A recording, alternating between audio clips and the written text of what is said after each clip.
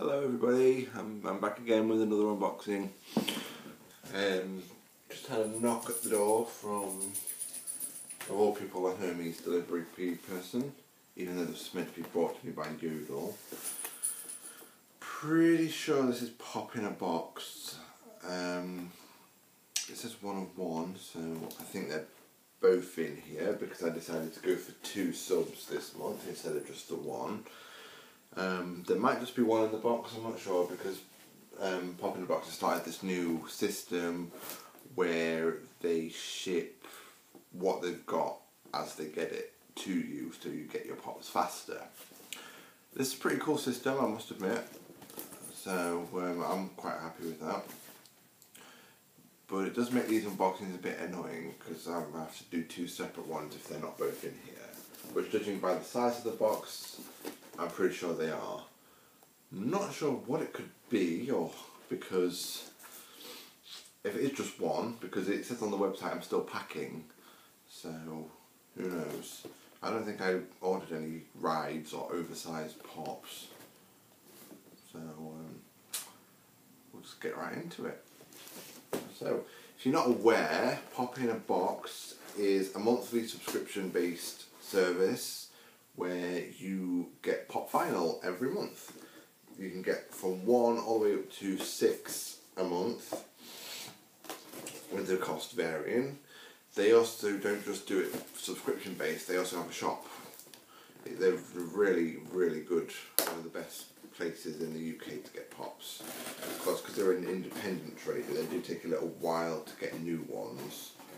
But apart from that, excellent service, and the guy who runs it, he's a collector himself, so it's run by collectors for collectors. So if your pop comes in a bad shape, they'll just replace it straight away, no problem, because they know we care about the box.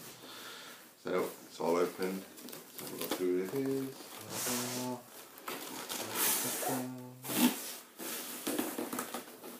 Okay, well I see lots of packing. That's a good thing I suppose. Oh, yeah, they are both in here. Ah, oh no! But yay at the same time. Okay. Oh, no, she's fine. My first one is Mrs. Potts and Chip. That's so cool. I've been after the Beauty and the Beast ones for quite a while. I said, oh no, because the side was a bit... It's got a bit of a crease in it. I'm an inbox collector, that probably won't bother me that much because it's still quite good condition.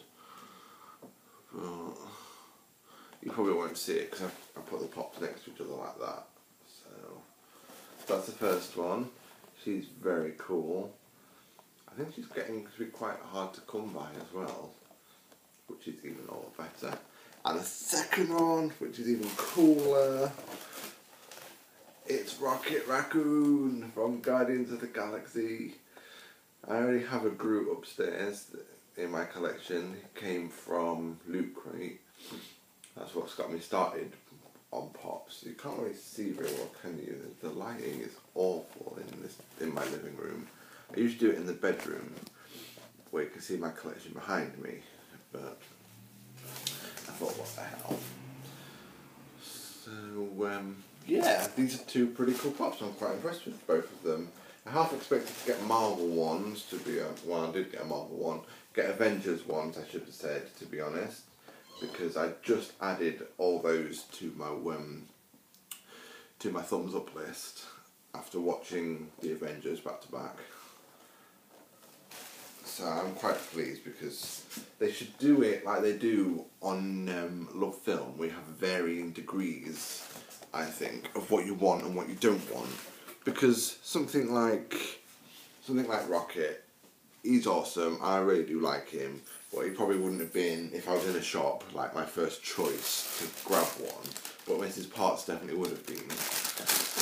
Um, that's that unboxing for this month. Um, I'll put all the information down in the description box about where you can go to look Pop in a Box, what they do, and the varying levels of subscriptions.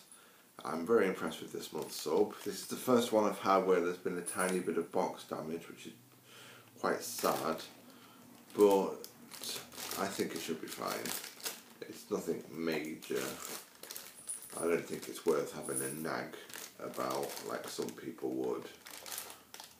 Um, okay, I will again, like I said in my last video, I'll be back in about a week or two with my Geekbox and Loot Crate, so stay tuned.